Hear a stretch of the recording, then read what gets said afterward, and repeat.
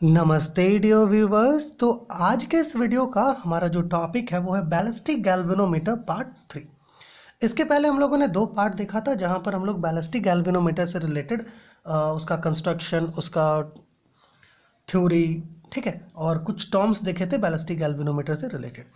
तो इस वीडियो का हमारा जो टॉपिक है, उसे हम लोग आगे आगे देखेंगे, बट यहाँ पर थोड़ा सा थिंग समझ लें। आपको याद होगा कि हम लोगों ने एक रिलेशन ऑप्टेन किया था, Q is equal to C by N B A T by two pi theta naught हम लोगों ने ये एक रिलेशन ऑप्टेन किया था बैलिस्टिक गैल्वेनोमीटर में, है ना? जो Q और थीटा नॉट के बीच था। थीटा नॉट मैक्सिमम डिफ्लेक्शन था, आपको याद होगा। अब ये जो रिलेशन हम लोग ऑप्टेन किए थे, ये रिलेशन किस बेसिस पर ऑप्टेन किए थे? है ना? मतलब उसका क्या अजप्शन था? हमारा सबसे पहला अजप्शन ये था कि भैया यहाँ पर जो डैम्पिंग है ठीक है मतलब जो हम लोग बैलिस्टिक गैल्वेनोमीटर लिए थे वहाँ पर जो क्वाइल था उस क्वाइल पर जो डैम्पिंग था वो नेग, मतलब नेग्लिजिबल क्या हम लोगों ने ये एज्यूम किया था डैम्पिंग फुल्ली एबसेंट है। हम लोगों ने ये एज्यूम किया था। दूसरा जो काइनेटिक एनर्जी था हमने ऐसा कहा था वहाँ पर या फिर हम लोगों ने ये एज्यूम करके चला था कि जो काइनेटिक एनर्जी था वो फुल्ली हम लोग कहाँ यूज़ कर रहे हैं? क्वाइल को ट्विस्ट करने में, ठीक है, जो क्वाइल है, उस क्वाइल को ट्विस्ट करने में हम लोग काइनेटिक एनर्जी फुल्ली यूज़ कर रहे हैं। किसी भी तरह का कोई काइनेटिक एनर्जी, है ना डैम्पिंग को अपोज करने के लिए यूज़ नहीं हो रहा, है ना। तो यहाँ पर दो अजप्शन हम लोग किए थे, ठीक है। तो सबसे पहला ये जो अजप्शन है कि डैम्पिंग एबसेंट होता है, ये ट्रू नहीं है, ठीक है। अब देखिए, आपको पता है कि हमारा ये, मान लीजिए ये नॉर्थ पोल हो गया ये हम लोग का साउथ पोल हो गया और यहाँ पर हम लोग का जो है क्वाइल सस्पेंडेड है मैग्नेटिक फ़ील्ड में। अब ये जो क्वाइल मैग्नेटिक फ़ील्ड में सस्पेंडेड है, यहाँ पर क्या है? कुछ एयर प्रेजेंट है। मतलब है कि जब ये क्वाइल वाइब्रेट करेगा, है ना? ऑसिलेट करेगा वाइब्रेट करेगा तो होगा क्या? जो एयर का विस्कॉसिस फोर्स है, वो इस क्वाइल पर एक्ट करेगा, जिसके कारण इसका जो ऑसिलेशंस होगा, वो डैम्प्ड हो जाएगा। मतलब उसका ऑसिलेशन पर कुछ फ़र्क पड़ेगा, जिससे उसका एम्पलीट्यूड डिक्रीज हो जाएगा। है ना? जो डिफ्लेक्शन होगा क्वाइल का, वो अफेक्ट होगा, उसका डिफ्लेक्शन थोड़ा कम हो जाएगा। साथ ही साथ विस्कोसिटी ऑफ़ एयर के साथ साथ यहाँ पर एक और डैम्पिंग फोर्स एक्ट करता है, और वो कौन सा फोर्स हो? होता है इलेक्ट्रोमैग्नेटिक फोर्स है ना? या फिर ऐसा क्या इलेक्ट्रोमैग्नेटिक डैम्पिंग एक्चुअली आपको पता है, हम लोग पिछले वीडियो में देख चुके हैं ऐसा कि कॉपर वायर का जो क्वाइल होता है, ठीक है कॉपर वायर वायर का जो क्वाइल होता है, उसे हम लोग एक नन कंडक्टिंग फ्रेम पर वुंड करते हैं। फ्रेम नन कंडक्टिंग होता है, लेकिन फिर भी वहाँ पर कुछ ना कुछ चार्ज जो है इंड्यूस हो जाता है। ठीक है, जिसके कारण होता क्या है कि इलेक्ट्रोमैग्नेटिक डैम्पिंग भी इस क्वाइल पर एक्ट करता है। वो एक्ट कैसे करता है? एक्चुअली वहाँ पर कुछ अपोजिट चार्जेस इंड्यूस होता है। जिस भी डायरेक्शन में हमारा क्वाइल ऑसिलेट करने का कोशिश करता है, उसके अपोजिट डायरेक्शन से वो उसको अपोज करने का कोशिश करता है, ठीक है? तो मतलब ओवरऑल हम लोग को मतलब क्या पता चल रहा है कि एक तो विस्कॉसिटी एक्ट करता है, ठीक है? और दूसरा क्या एक्ट करता है? इलेक्ट्रो मैग्नेटिक डैम्पिंग एक्ट करता है। तो हम लोगों का ये जो अजप्शन था कि भाई जो डैम्पिंग है वो फुल्ली एबसेंट है, वो गलत हो गया, है ना? वो गलत था। एक्चुअली में दो तरह का डैम्पिंग यहाँ पर एक्ट कर रहा है। तो ये जो रिलेशन हम लोग ऑप्टेन किए थे पार्ट वन में, ये रिलेशन में थोड़ा सा एरर आ गया। है ना? ये रिलेशन में थोड़ा सा एरर आ गया। तो आज हम लोग इसी एरर को इस वीडियो में डिस्कस करेंगे। तो आज का हमारा जो टॉपिक है, वो क्या है? उस टॉपिक को यहाँ पर लिख लेते हैं। वो टॉपिक है करेक्शन करेक्शन ऑफ़ डैम्पिंग ठीक है? डैम्पिंग का करेक्शन करेंगे इस वीडियो में हम लोग। ठीक है? मतलब है कि पिछले वीडियोस में जो हम लोगों ने मिस्टेक किया इस रिलेशन को ऑप्टेन करने में, हम लोगों ने ऐसा एज्यूम कर लिया कि डैम्पिंग एबसेंट होता है, वो गलत था। डैम्पिंग प्रेजेंट होता है। अब बात आती है कि इसका कंसिक्वेंस क्या होगा? डैम्पिंग प्रेजेंट है तो क्या कंसिक्वेंस होगा? कंसिक्वेंस बस इतना होगा कि अगर ये हमारा सस्पेंशन है, ये हमारा क्वाल है, ठीक है? तो क्वाइल जो पहले मैक्सिमम डिफ्लेक्शन है ना, उसका जो दे रहा था डिफ्लेक्शन उससे थोड़ा कम डिफ्लेक्शन देगा उसका, थोड़ा सा कम डिफ्लेक्शन होगा, है ना? तो मतलब ओवरऑल बात यहाँ पर यह है कि जो वैल्यू है थीटा नोट का वो अफेक्ट होगा। मतलब इसका जो थीटा नोट का जो वैल्यू है वो यहाँ पर कम आएगा। तो चलिए थीटा नोट का वैल्यू कैलकुलेट करते हैं। अब यहाँ पर देखिए, हम लोगों ने यहाँ पर सब जो थ्योरीज पार्ट है उसको लिख करके रखा है। हम लोगों ने क्या लिया है कि let theta one theta two theta three and so on it is with the continuously decreasing successive amplitudes observe at the end of the first second third swings of the coil ठीक है? चलिए, ये हमारा coil हो गया, ये हमारा suspension हो गया। अब क्वाइल कुछ ऐसे ऐसे स्विंग करेगा वहाँ पर, कुछ ऐसे ऐसे स्विंग करेगा क्वाइल है ना? तो हर एक स्विंग पर first swing second swing third swing fourth swing पर जो एम्पलीट्यूड्स ऑब्ज़र्व हो रहा था, वो एम्पलीट्यूड्स कंटिन्यूसली डिक्रीजिंग एम्पलीट्यूड होगा। कैसा एम्पलीट्यूड कुछ ऐसा। देखिए, कुछ सबसे पहले इंक्रीजिंग हो रहा है, फिर थोड़ा सा डिक्रीज फिर डिक्रीज फिर डिक्रीज फिर धीरे धीरे जाकर के वो एम्पलीट्यूड ज़ीरो हो जाता है। ठीक है? तो वही एम्पलीट्यूड्स की यहाँ पर बात हो रही है। ठीक है? जिसको theta one theta two theta three के फॉर्म में लिया गया है।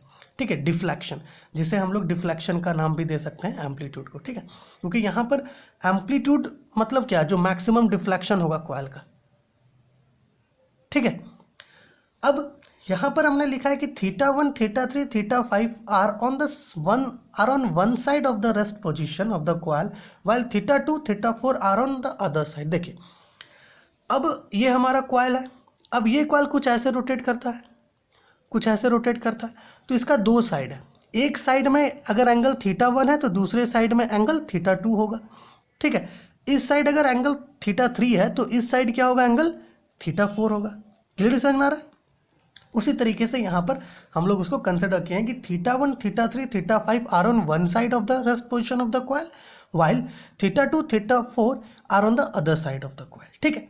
ना अब देखिए एक्सपेरिमेंटली ऐसा पता किया गया अगर थीटा वन इधर फॉर्म होता है और थीटा टू इधर फॉर्म होता है, ठीक है, उसी तरीके से थीटा थ्री अगर इधर फॉर्म होता है थीटा फोर इधर फॉर्म हो रहा होता है तो जो रेशियो होता है theta one by theta two theta two by theta three theta three by theta four, है ना एंड सो वन ये रेशियो कांस्टेंट होता है जिस कांस्टेंट वैल्यू का नाम हम लोग डी लिख डी देते हैं ठीक है, यहाँ पर देखिए since it is found that the ratio of one value to the next is always a constant. This is theta 1 by theta 2 is equal to theta 2 by theta 3 is equal to theta 3 by theta 4 is equal to d.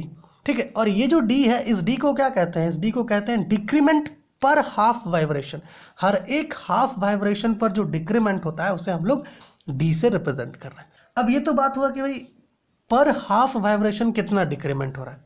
तो पर full vibration कितना decrement होगा? Full vibration की अगर बात की जाए तो देखिए लेकिन उससे पहले थोड़ा सा एक पॉइंट हम लोग को यहाँ पर समझना होगा। हम लोग यहाँ पर क्या कर रहे हैं कि जो डिक्रीमेंट था डी ठीक है, उसका लॉगरिथम ले रहे हैं यहाँ पर। तो log e D is equal to lambda जहाँ पर ये जो लैमडा है, ये लॉगरिथमिक डिक्रीमेंट को रिप्रेजेंट करता है। Where lambda is logarithmic decrement ना D is equal to e पे पावर लैमडा ये हमारा जो है एक रिलेशन होता है। Log e D is equal to lambda या फिर यहाँ पर कोई क्विक कॉन्स्टेंट आप ले सकते हैं। डी की जगह पर भी और लैमडा की जगह पर भी, ठीक है?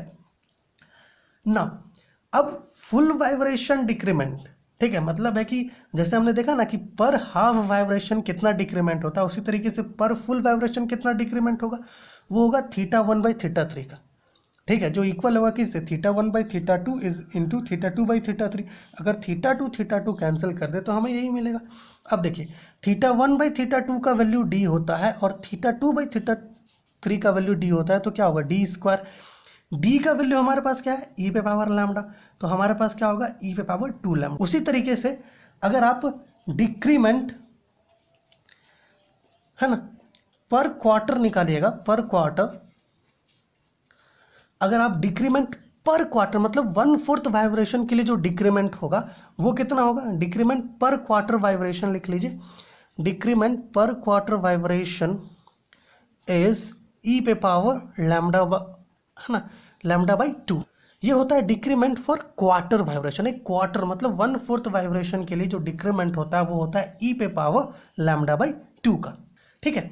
तो अब बात ये आता है कि यहाँ पर जो थीटा नॉट है, हमें एक्चुअली वैल्यू इसका कैलकुलेट करना है।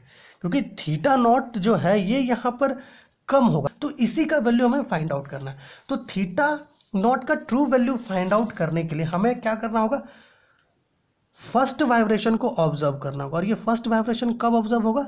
जब वन फोर्थ वाइब्रेशन कंप्लीट हो जाएगा, तब हम फ़र्स्ट वाइब्रेशन को, तब हम लोग जो है फ़र्स्ट वाइब्रेशन ऑब्ज़र्व कर पाएँगे। यहाँ पर लिख लीजिए कि for calculating for calculating theta naught the first throw the first throw is observed is observed after the coil, after the coil completes, after the coil completes one fourth vibration ठीक है one fourth vibration जब वो complete कर लेगा तो हम लोग first vibration को ऑब्ज़र्व करेंगे।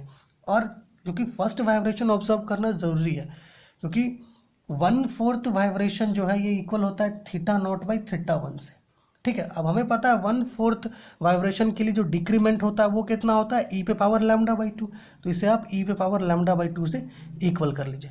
ठीक है तो हम इसे कुछ ऐसे लिख सकते हैं। Theta naught is equal to theta one e पे पावर लैमडा बाई टू अब आपको पता होगा कि ई पे पावर लैमडा बाई टू जो है, इसे हम लोग कुछ ऐसे एक्सपेंड कर सकते हैं। Theta one bracket one plus lambda by two plus lambda by two पर square by two factorial and so on कुछ इस तरीके से होता है। अब यहाँ पर अगर आप देखेंगे कि जो लैमडा है, ये एक्चुअली में क्या है? लॉगरिथमिक डिक्रीमेंट इसका जो वैल्यू होता है, वो बहुत स्मॉल होता है। जिसके कारण हम लोग क्या करते हैं कि जो लैमडा का हायर पावर्स है है ना? Higher higher powers of lambda is neglected ठीक है? क्योंकि वो बहुत स्मॉल है, इसलिए लैम्डा का जो हायर पावर्स होगा, उसको हम लोग क्या करते हैं, उसको हम लोग नेग्लेक्ट कर देते हैं। तो लैम्डा का जब हायर पावर्स नेग्लेक्ट कर देंगे तो थीटा नॉट का जो वैल्यू हम लोग को मिलेगा, वो होगा theta one bracket one plus lambda by two.